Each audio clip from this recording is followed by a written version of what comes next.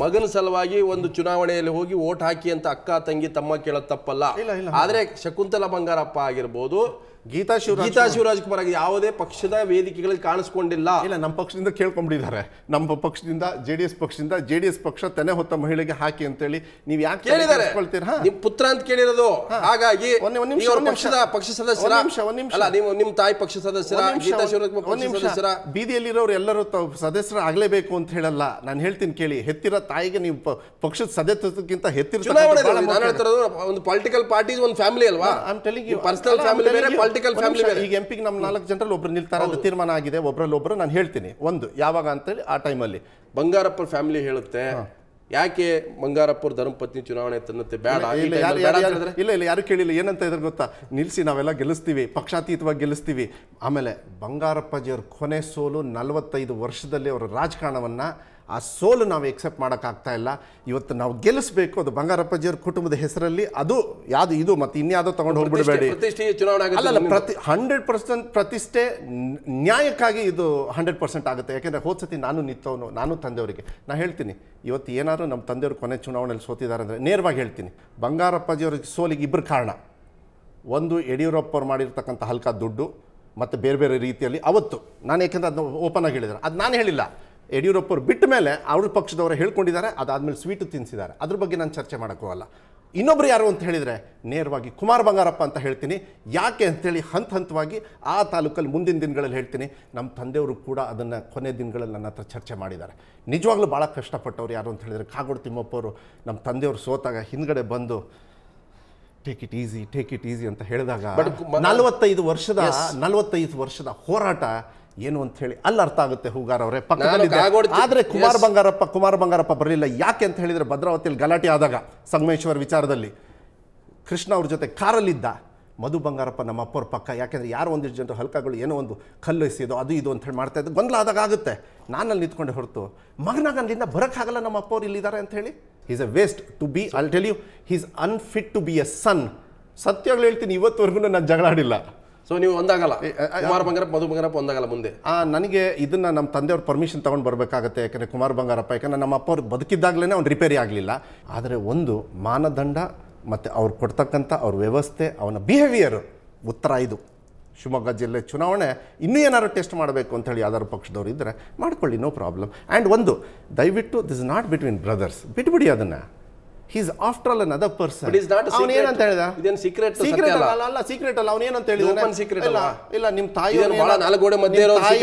ನಿಮ್ಮ ತಾಯಿಯವ್ರನ್ನ ಕಣಕ್ಕೆ ನಿಲ್ಲಿಸಿದ್ರೆ J D S ಪಕ್ಷದವರು ನೀವು ನಿಲ್ತೀರಾ ಅಂತ ಹೇಳಿದ್ರೆ ಇಲ್ಲ ನನ್ನ ಮಾತೃ ಪಕ್ಷ ಇಂಪಾರ್ಟೆಂಟು ಅಂತ ಪಿತೃವಾಕ್ಯ ಪರಿಪಾಲನೆ ಬಿ ಜೆ ಪಿಗೆ ಬಂದು ಸೀಟ್ ಸಿಗಲ್ಲ ಅಂತ ಹೇಳಿ ಹೋದಾಗ ಹತ್ತು ದಿವಸದೊಳಗೆ ಇವ್ನ ಹಣೆ ಬರ ಏನು ಅಂತೇಳಿ ನಾವು ನೋಡಿದ್ದೀವಿ ಶಿವರ್ ಸೊರಬ ತಾಲೂಕಿನ ಜನರು ನೋಡಿದ್ದಾರೆ. ಗೀತಾ ಶಿವರಾಜ್ ಕುಮಾರ್ ಕೂಡ ಫ್ಯಾಮಿಲಿಗೆ ಕನ್ಸಿಡರ್ ಆಗಿರೋದ್ರಿಂದ ಸೊ ಶಿವರಾಜ್ ಕುಮಾರ್ ಕೂಡ ಶಿವಮೊಗ್ಗ ಲೋಕಸಭಾ ಚುನಾವಣಾ ಅಖಾಡದಲ್ಲಿ ನಿಲ್ತಾರ ಅಂತ ಒಂದು ಪ್ರಶ್ನೆ ನಾನೇ ನಾನೇ ನಿಮಗೆ ಒಂದು ಹೇಳ್ಬಿಡ್ತೀನಿ. ಶಿವರಾಜ್ ಕುಮಾರು ಭಾಳ ಮಹಾನ್ ಗ್ರೇಟ್ ನಟರು ಕೂಡ ನನ್ನ brother in law gem of a person ಒಳ್ಳೆ ಹ್ಯೂಮನ್ ಬೀಯಿಂಗು ಅವರಿಗೆ ಪಕ್ಷಾತೀತವಾಗಿ ಅವರಿಗೆ ಇಂಡಿವಿಜುವಲಿ ಪಕ್ಷಾತೀತವಾಗಿ ಅಭಿಮಾನಿಗಳಿದ್ದಾರೆ. ಅದಕ್ಕೆ ಹರ್ಟ್ ಮಾಡಬಾರ್ದು. ಬಟ್ ಅವ್ರ ವೈಯಕ್ತಿಕವಾಗಿ ಡಿಸಿಷನ್ ಇದ್ರೆ ಅವ್ರಿಗೆ ಬಿಡ್ತೀನಿ ನಾನು ಇದು. ನಿಮ್ಮ- ನಿಮ್ಮ ನಾನು ಇಲ್ಲ ತಲೆಯಲ್ಲಿ ಇವತ್ತವ್ರು ಕರೆದಿಲ್ಲ ಕರೆದಿಲ್ಲ ಇಲ್ಲ ಇಲ್ಲ. ಆಮೇಲೆ ಸತ್ಯವಾಗ್ಲೂ ಹೇಳಲ್ಲ ಬೇಕಾದ್ರೆ ನಾನು ಕರೆದ್ರೂ ಚುನಾವಣೆಗೆ ಬಂದ್ಬಿಡ್ತಾರೆ. ನಾನೇ ಹೇಳಿದೆ ಬೇಡ ಶಿವಣ್ಣ. ಶಿವರಾಜ್ ಕುಮಾರ್ ಶಿವ- ಶಿವಮೊಗ್ಗ ಲೋಕಸಭಾ ಚುನಾವಣೆ ನಿಲ್ಲಲ್ಲ. ನನಗೆ ಗೊತ್ತಿರೋ ಪ್ರಕಾರ ಇಲ್ಲ. ಇಲ್ಲ ನಿಮ್ಮ ಮನಸ್ಸಲ್ಲೂ ಇಲ್ಲ. ನನ್ನ ಮನಸ್ಸಲ್ಲ ಇಲ್ಲ, ಇದು ಚರ್ಚೆನೇ ಉದ್ಭವ ಆಗಿಲ್ಲ. ಬಂಗಾರಪ್ಪನವರ ಆ ಸ್ವಾಭಿಮಾನ ಸಿಟ್ಟು, ಅಂದ್ರೆ ಸೋಲೋ, ಗೆಲುವು, ಅದು ಏನಾಗುತ್ತೋ, ಪ್ರಾಣ ಹೋದ ಪರಲ್ಲ ಹೋರಾಟ ಮಾಡಬೇಕು ಅನ್ನೋ ಛಲ ಇತ್ತು. ಸೊ ಬಹುತೇಕ ಅದೇ ನಾನು ಅನೇಕ ಬಾರಿ ಹೇಳಿದೆ ಅಂತ ಕಾಗೋಡು ತಿಮ್ಮಪ್ಪ ನಾನು ಕೊನೆ ಇತ್ತೀಚೆಗೆ ಒಂದು ಅವರು ಸ್ಪೀಕರ್ ಹಾಕಿದ ಮೇಲೆ ನನ್ನ ಜೊತೆ ಇಂಟರ್ವ್ಯೂಲ್ಲಿ ಮಾತಾಡಿದ್ರು. ಬಂಗಾರಪ್ಪನವರು ಹೇಳಿದ್ರು ಕೇಳ್ತಿರ್ಲಿಲ್ಲ. ಅವ್ರ ಫ್ಯಾಮಿಲಿನ ಸೆಟ್ರೇಟ್ ಮಾಡಿ ಅಂತ ನಾನೇ ಪದೇ ಪದೇ ಮಾಡಿಕೊಂಡು ನನ್ನ ಮಾತು ಕೇಳ್ತಿರಲಿಲ್ಲ. ಅಂದ್ರೆ ಅಷ್ಟೊಂದು ಸ್ವಾಭಿಮಾನಿ ಅಂತ. ಅದಕ್ಕೆ ನನ್ನ ಮೊದಲು ನಿಮ್ಮ ಪ್ರಶ್ನೆ ಬಂತು. ಸೊ ಮಕ್ಕಳಿಂದಾಗಿ ಬಂಗಾರಪ್ಪನವ್ರು ಎಲ್ಲ ಒಂದು ಕಡೆ ಮನಸ್ಸಿಗೆ ಭಾಳ ನೋವು ಮಾಡ್ತಿಲ್ಲ ಮತ್ತೆ ನೀವು ತಪ್ಪು ನಿಮ್ಮ ಪ್ರಶ್ನೆ ತಪ್ಪು. ಬಂಗಾರಪ್ಪಾಜಿಯವ್ರು ಕೊನೆ ಚುನಾವಣೆಯಲ್ಲಿ ಹಿದ ಹೇಳಿದ್ದಾರೆ. ಅವನು ನನ್ನ ಮಗನೇ. ನಾನು ಒಂದು ಸತಿ ಫೋನ್ ಮಾಡೋಣ ಅಂಥೇಳಿ ಮಾಡಿದೆ. ಮಾಡಿದಾಗ ಏನು ವಿಚಾರ ಹೇಳ್ರಿ ಅಂಥೇಳಿ ಮಾತಾಡ್ದ ಅಂಥೇಳಿ. ನಾನು ಯಾಕೆ ಸರ್ಟಿಫಿಕೇಟ್ ಕೊಡಬೇಕು? ನಮ್ಮ ತಂದೆಯವರು ಹೇಳಿದ್ದಾರೆ. ಅದ್ರ ಬಗ್ಗೆ ಇದು ಇದು ಇದು ಬರೋದೇ ಇಲ್ಲ. ಬಟ್ ಬಂಗಾರ ಬಂಗಾರಪ್ಪಾಜಿಯವರೇ ಕಾಗೋಡು ತಿಮ್ಮಪ್ಪರಿಗೆ ಒಂದು ಸತಿ ಹೇಳಿ, ಹೋಗೋ, ನಿಗೆ ರಿಪೇರಿ ಮಾಡಿದ್ರೆ ಮಾಡಿ ಅಂತೇಳಿ ಹೇಳಿ ಕಳಿಸಿದ್ದಾರೆ. ನಾನು ಒಪ್ಕೊಳ್ತೀನಿ. ಅದು ನನಗೆ ಗೊತ್ತಿಲ್ಲದಂಗೆ ನನಗೂ ಗೊತ್ತಿಲ್ಲ. ಬಟ್ ತಂದೆಯವ್ರು ಹೇಳಿದಾಗ, ವೆರಿ ಗುಡ್, ಒಳ್ಳೆ ಕೆಲಸ ಮಾಡಿದ್ದೀರಿ ಯಾಕೆಂದರೆ ನಿಮ್ಮ ಮಾತಿಗೆ ಅವ್ನು ಒಂಥರ ಹಿಂಗಿಂಗೆ ಮಾಡ್ತಾನಂದರೆ ಬೇರೆಯವ್ರ ಹತ್ರ. ಅವ್ನು ಏನು ಉತ್ತರ ಕೊಟ್ಟ ಅಂತೇಳಿ ದಯವಿಟ್ಟು ಕಾಗೋಡು ತಿಮ್ಮಪ್ಪರಿಗೆ ಒಂದು ಸತಿ ಕೇಳಿಬಿಡ್ಬೇಕಾಗಿತ್ತು? ಅದನ್ನು ಹೇಳ್ಕೊಂಡಿರಲ್ಲ ಕಾಗೋಡು ತಿಮ್ಮಪ್ಪಾಜಿಯವರು. ಯಾಕೆ ಗೊತ್ತಾ? ಬೇರೆ ಮಕ್ಕಳಿಗೆ ಆ ಆ- ಮಾತುಗಳು ತಲುಪಬಾರ್ದು. ಯಾಕಂದ್ರೆ ಈ ತರ ಈ ಥರನು ಬೇರೆಯವ್ರ ಮಕ್ಕಳಿಗೆ ನಾವು ಯಾಕೆ ಬೀಜವನ್ನು ಸುರ್ಬೇಕು? ಫ್ಯಾಮಿಲಿಯಲ್ಲೂ ಕೂಡ ಕಾಗೋಡು ತಿಮ್ಮಪ್ಪ ಹಿರಿಯರಾಗಿ ತುಂಬಾ ಪ್ರಯತ್ನ ಮಾಡಿದಾರೆ ಅಂತ ಇಲ್ಲ ಇಲ್ಲ ಅವ್ರು ಮಾಡಿದ್ದಾರೆ. ಇಲ್ಲ ಅಂತ ಹೇಳಿ ಅಲ್ಲೇ ಇಲ್ಲ. ಬಟ್ ರಿಪೇರಿ ಆಗದೇ ಇರೋ ನೀವು ಹೆಂಗ್ರಿ ರಿಪೇರಿ ಮಾಡ್ತೀರಿ? ನಾ ಹೇಳ್ತೀನಿ ಈ ತೆನಾಲಿ ರಾಮಚ ಕೃಷ್ಣಂದು ಯಾವುದೋ ಒಂದು ಕರಿ ನಾಯಿನೋ ಇಂಥ ಬಿಳಿ ನಾಯಿ ಮಾಡೋದು. ಇದು ಹೋಗ್ಬಿಟ್ಟಿದೆ ಇದು ತಗೊಳ್ಳಿ ಸೊ ಮಧು ಬಂಗಾರಪ್ಪ ಇತ್ತೀಚೆಗೆ ಒಂದು ಹೇಳಿಕೆ ಕೊಟ್ಟರು ಬಂಗಾರಪ್ಪ ಅವರ ಫೋಟೋನ ಕಾಂಗ್ರೆಸ್ ಹಾಕೋಬಾರ್ದು ಹೌದು. ಬಂಗಾರಪ್ಪರಿಗೆ ಮೋಸ ಮಾಡ್ತು ದೇವರಾಜ ಅರಸು ಮೋಸ ಮಾಡ್ತು ಸಿದ್ದರಾಮಯ್ಯ ಹುಷಾರಾಗಿರ್ಬೇಕು. ಸೊ ಬಂಗಾರಪ್ಪ ಕಾಂಗ್ರೆಸ್ ಇಲ್ಲ ಅಂದ್ರೆ ಎಲ್ಲಿ ಬಂಗಾರಪ್ಪ ಇರ್ತಿದ್ರು? ಒಂದೇ ಒಂದು ನಿಮಿಷ. ಬಂಗಾರಪ್ಪಜಿಯವ್ರು ಇಲ್ಲ ಅಂದ್ರೆ ಕಾಂಗ್ರೆಸ್ಗೆ ಅಂತ ಮುಖ್ಯಮಂತ್ರಿ ಎಲ್ಲಿ ಸಿಗ್ತಾ ಇದ್ರು? ಯಾಕೆ? ಸಮುದ್ರಕ್ಕೆ ನದಿನ ಸೇರಿಸ್ತಾ ಇಲ್ಲ ಇದ್ರು ಇಲ್ಲ ನೀವು ಯಾವ್ದು ಯಾವ್ದು ನಡೆಸಿ ಎರಡು ಸೇರ್ಲಿಲ್ಲ ಅಂದ್ರೆ ಎರಡಕ್ಕೂ ನೆಂಟಸ್ತನ ಇಲ್ಲ ಅಂದ್ರೆ ಇದಕ್ಕೆ ಸಮುದ್ರ ಇದಕ್ಕೆ ನದಿ ಅಂತ ಹೇಳಕ್ಕಾಗಲ್ಲ.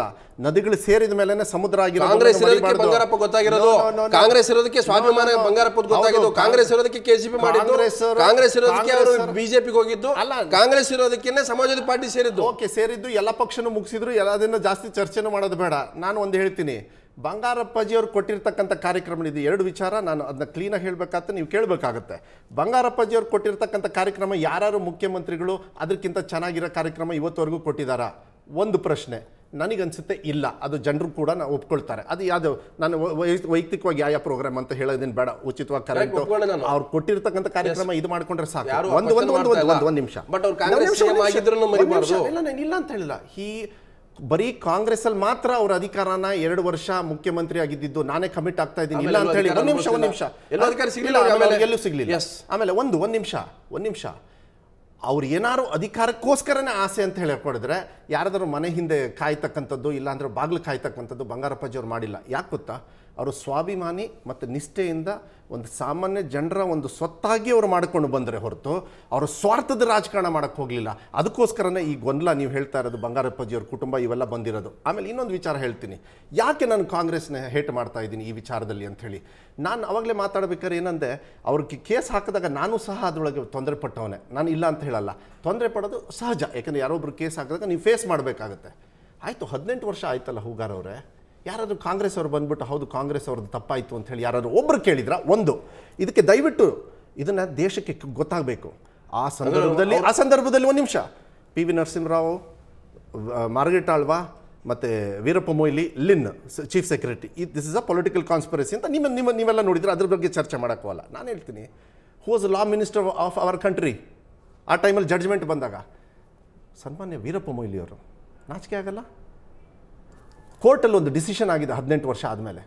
ಹದಿನೆಂಟು ವರ್ಷ ಡಿಸಿಷನ್ ಆದಮೇಲೆ ಇವತ್ತು ನೀವು ಹೋಗ್ಬಿಟ್ಟು ಬಂಗಾರಪ್ಪಾಜಿ ಅವರಿಗಿದೆ, ಅದನ್ನು ಮಗನಾಗಿ, ಅವ್ರನ್ನ ನಾಯಕರಾಗಿ, ಗುರುಗಳಾಗಿ ನಾನು ಇದನ್ನು ಒಂದು ಪಕ್ಷನ ದ್ವೇಷ ಮಾಡೋದು ತಪ್ಪ ಸರಿನಾ ಹದಿನೆಂಟು ವರ್ಷ ಹಂಗೆ ಹುಟ್ಟೋಯ್ತಲ್ಲ. ಅವ್ರು ಹದಿನೆಂಟು ವರ್ಷ ಮುಖ್ಯಮಂತ್ರಿಯಾಗಿ ಏನಾದ್ರು ಕಾಂಗ್ರೆಸ್ ಅವರು ಉಳಿಸ್ಕೊಂಡಿದ್ದಿದ್ರೆ. ಬಟ್ ಬಂಗಾರಪ್ಪ ಯಾವತ್ತೂ ಹೇಳಿಲ್ಲ ಮಧು ಬಂಗಾರಪ್ಪ ಅವರೇ. ನನ್ನ ಫೋಟೋ ಯೂಸ್ ಮಾಡ್ಕೋಬೇಡಿ. ನನ್ನ ಹಿಂದೆ ಕಾಂಗ್ರೆಸ್ ಹೆಸರು ನಾನು ಹೌದು ಹೇಳ್ತಾ ಇದ್ದೀನಿ. ಯಾಕೆ ಗೊತ್ತನೋ ನಿಮಗೆ? ಬಂಗಾರಪ್ಪ ಇದ್ದಾಗ ಹೇಳಿ ಇಲ್ಲ, ನಾನು ಇವಾಗ ಬಂಗಾರಪ್ಪಾಜಿ ಅವ್ರು ಹೇಳ್ಬೇಕು. ಇದ್ದಾಗ ನಾನು ಹೇಳೋ ಪ್ರಶ್ನೆನೇ ಬರಲ್ಲ. ಕುಮಾರಸ್ವಾಮಿ ದೇವೇಗೌಡ ಮಾತ್ರ ಹೇಳಿ ಒಂದು ನಿಮಿಷ ಅದು ತಪ್ಪು. ನೀವು ದಯವಿಟ್ಟು ಮಧು ಬಂಗಾರಪ್ಪನ ಬಾಯಿಂದ ಬರ್ತಕ್ಕಂಥದ್ದು ಬಂಗಾರಪ್ಪಾಜಿ ಅವ್ರ ಮಗನಾಗಿ ನನ್ನನ್ನ ಎಕ್ಸ್ಪೀರಿಯನ್ಸ್. ನಂದು ಓನ್ ಸ್ಟೇಟ್ಮೆಂಟ್ ನೋಡಿ ಅದು. ನನ್ನ Statement ದೇವೇಗೌಡ ಆಮೇಲೆ ಒಂದು ಕುಮಾರಸ್ವಾಮಿದು.